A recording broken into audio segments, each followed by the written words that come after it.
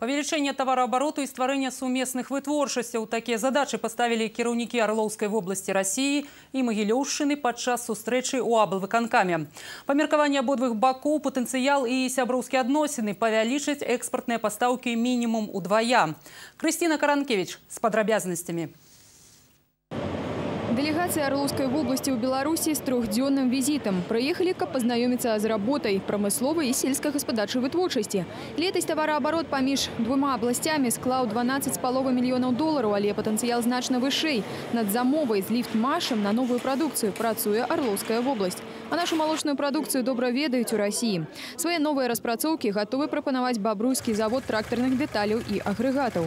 Теперь промысловцы обоих регионов будут працаваць над поширением поставок поставок новой продукции в российский регион. Потенциал развития у нас очень огромен. Мы для этого и сюда приехали, чтобы с Владимиром Викторовичем это все дело обсудить. Привез я с собой профильных заместителей по сельскому хозяйству, по промышленности, по экономическому развитию региона.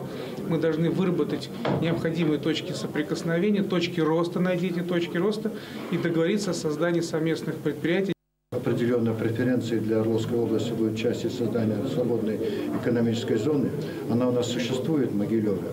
И мы готовы приветствовать сегодня партнеров по бизнесу с Орловской области для того, чтобы разместиться в свободной экономической области и создавать в экономической зоне и создавать определенные товары, которые могли бы э, и реализовываться в Республике Беларусь, и в Российской Федерации, и на рынках третьих стран.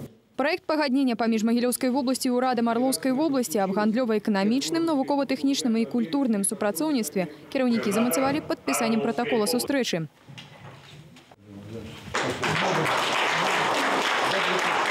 А ў бліжэйшы час будуць створаны працоўныя групы, якія прыступяць да распрацоўкі новых сумесных праектаў. Крысціна Кранкевіч, Мікалай Собаляў, навіны рэгіён.